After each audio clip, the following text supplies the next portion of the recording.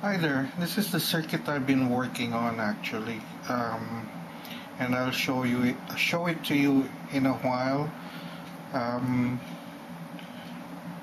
I've uh, removed just one part of this which is this part um, which shows an LED to, to show you if it's powered or not. Instead I'll just put a switch here to turn on the power. And since I can't find a 390k I'm using a 391k resistor for R5 basically the rest is the same. It's showing here a transformer but they never mention uh, what kind although it's a center tap and I tried the the 12 volts 12012 and uh, I've been getting only 84 volts with no load. So instead um, I'm using this one. Let's see.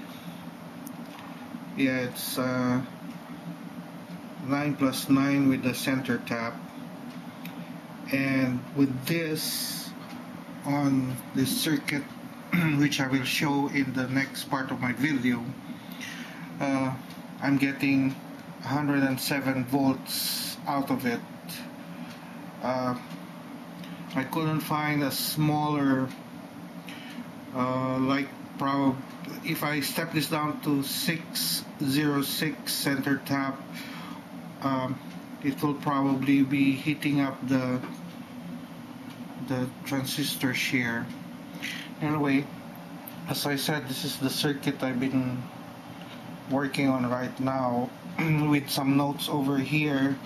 As I said i took out this LED indi light indicator because it eats up battery.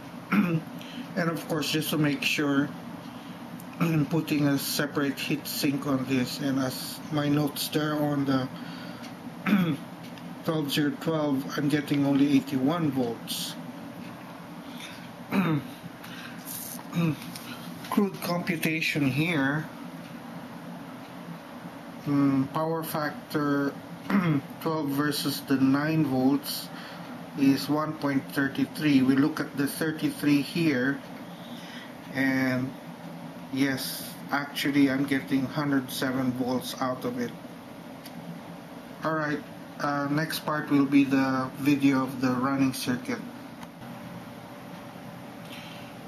Welcome again. Uh, I'm still on a testing mode on this one but looks like a fairly good circuit to run. Unfortunately the the IC4047B is hidden under my jumper wires. Uh, this is running off um, 8 uh, AA batteries. You have the transformer here and you have this CFL uh, 7.5 watt bulb. It also runs on the 18 watt uh, CFL over here and about 90% oh 95% brightness on the Utilitech bulb. So it's still in the testing stage. Um, there's a capacitor a Mylar capacitor there.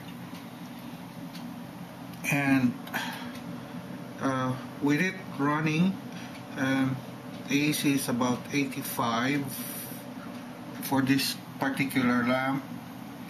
And for that LED it should go up to about 90 91 while the other one which is an 18 watt is about uh, it will show around 57 volts more or less running on uh, 12 volt uh, AA batteries in series and if you look at the the temperature of the transistors it's running cold 65.4 degrees. Um, eventually I'll be putting the circuit into a uh, PC board. Uh, of course I'll put a heatsink here just in case somebody plugs in a higher uh, wattage bulb just to keep the temperature down. Uh, so far it will this one probably handles uh, a good a good size uh, lamp. Let me take this out so that I'll show you.